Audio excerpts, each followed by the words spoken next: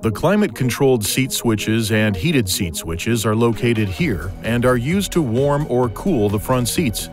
The front seats are cooled by blowing cool air from under the surface of the seat and warmed by a built-in heater. In order to warm the front seats, place the ignition in the on position. Now, push the heated seat switch and select the desired heat range.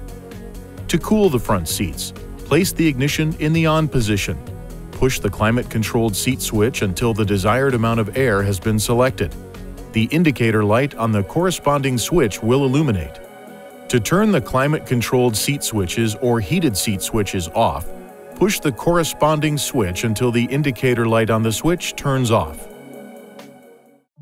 Please see your owner's manual for important safety information, system limitations, and additional operating and feature information.